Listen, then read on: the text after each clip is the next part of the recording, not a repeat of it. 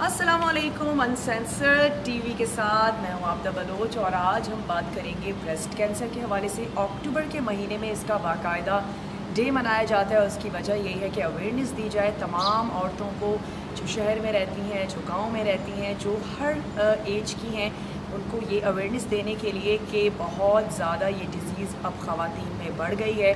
बहुत ज़्यादा ज़रूरी है कि आप अपना पर्सनल मुआयना ज़रूर करें। अगर कोई भी सिम्टम आपको नज़र आता है तो आपने ज़रूर उसको सीरियस लेना है। अपनी डॉक्टर से कंसल्ट करें। हम इस बारे में बात नहीं करते हैं। बहुत ज़्यादा घबराहट स्टिल अभी भी है।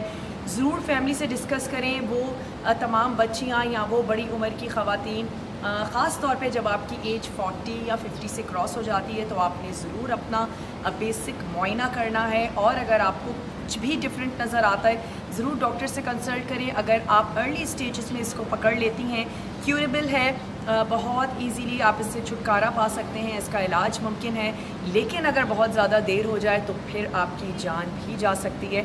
तो सिर्फ़ हमने करना ये है कि एहतियात करनी है अपना मुआयना करते रहना है इस डिज़ीज़ के हवाले से बात करनी है घबराना नहीं है। इसके सिम्टम्स में अगर आपको किसी भी किस्म की घुटली फील होती है। अगर आपको किसी भी किस्म का कुछ डिफरेंस फील होता है, यानी कि कोई ऐसी चीज़ जो आप अब तक ऑब्ज़र्व नहीं कर रही थी, कोई घुटली है, कोई भी आपको चीज़ ऐसी फील हो रही है, अंदर कोई चीज़ गिल्टी भी जिसको कहा जाता है, वो अगर आपको फील हो रही है तो आपने ज़रूर अपने डॉक्टर से कंसल्ट करना है और इसके हवाले से आप क्या कर सकते हैं। गूगल पे सर्च कर सकते हैं, देख सकते हैं। मैं ख़ुद डॉक्टर तो नहीं हूँ, लेकिन हम क्या करते हैं, हम भी इन्हीं लोगों से सीखते हैं, सुनते हैं।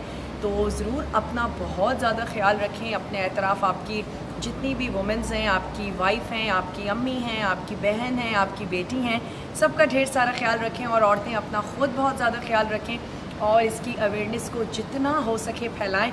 तो इन किसी नेक्स्ट टॉपिक के साथ आप लोगों से मिलते हैं। चैनल को सब्सक्राइब करना मत भूलिएगा।